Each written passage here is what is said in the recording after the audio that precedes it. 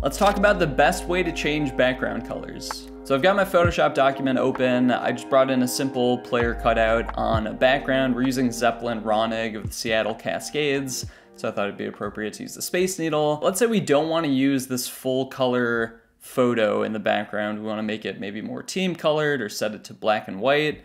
What we're going to be doing today is working with gradient maps. And if you go down here to our adjustment layers, go ahead and click that and go up to gradient map. And what gradient maps do is it sets all of the dark colors to a certain color and then all the lighter colors to another color. At least that's what it does in its most basic form. You can add multiple stops on this gradient map bar, but right now it's basically setting all of the dark tones to white, all of the light tones are black. So if you flipped it, you would see a more traditional black and white with the dark tones black and the white tones as white. And the image, you'll see the color changes as you adjust these sliders towards each other, you'll get more stark contrasts. So this is my favorite way in Photoshop to make anything black and white, not just backgrounds. But if you take your black to white gradient map, you should have a preset up under the basics tab and you can just click black to white. Let's add three more stops here and we're gonna set them at the 25 location, the 50 location, and the 75 location. You can just do that by clicking each tab and then setting the location number.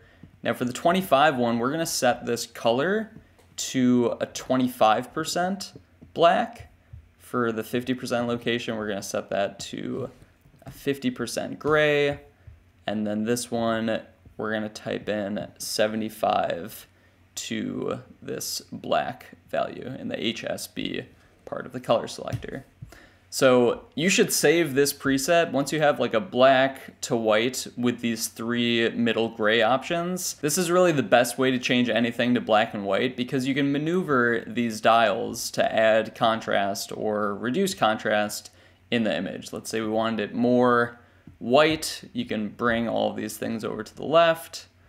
And maybe you don't want any black in the design at all, so you want the darkest shade to be this dark gray. You can just like drag that slider off of the gradient map, continue moving these things. Maybe we drag one more off and we just want this very light, you know, white to gray gradient going through our background. So that's one option to change the background color to this like faded black and white look. If we wanted to go the opposite route, we can make it super dark. So I'm gonna reactivate my preset that I have here saved and I'm gonna take off the white slider. I'm to click and drag off this lighter gray, and then let's just use these three darker tones. And just by dragging these sliders around, you can get this pretty cool dark background. Now if we want to get away from black and white, let's reopen the gradient map. Let's pick one of the Seattle team colors. So let's use this dark blue.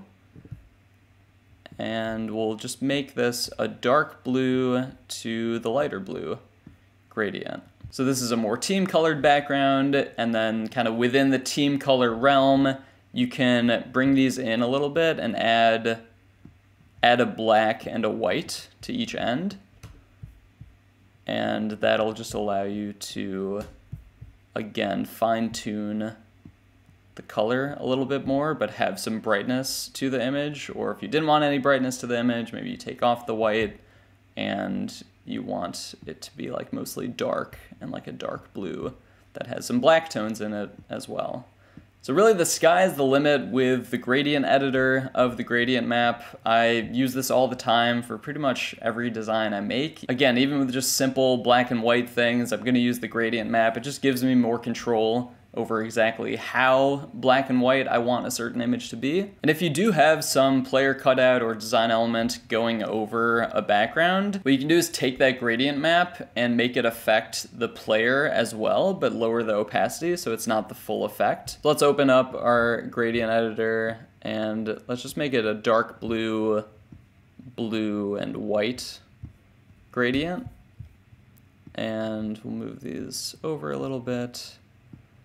And then if you kind of want the player to have the same bluish tone that the background has, you can duplicate this gradient map layer by holding Command and hitting J. and then drag it on top of the player. And now if we just want this layer affecting the layer below it, we can clip it to the layer below it by creating a clipping mask. So you can hold option and hover in the space between the layers and then click. So now we have this gradient affecting our player cutout and let's just lower this down to like, you know, 20 to 30% is typically enough. So we get the idea that he is like somewhat blue because he's in this blue scene. And you can do the same thing for a black and white gradient map too. So let's delete this, open up our background gradient map, and let's go back to one of our presets here. So let's do like a pretty light white gray one here. And then let's take the same thing, again, Command J, bring it above our player cutout, clip it by holding Option and clicking on the space between layers, and then we'll lower this opacity to 20. So you'll see it, it kind of like gives him this fade and it also desaturates his colors a little bit. I'm a big proponent of gradient maps. You will see me use them in a lot of videos. I highly recommend you play with them, get used to them, and start using them in your sports designs.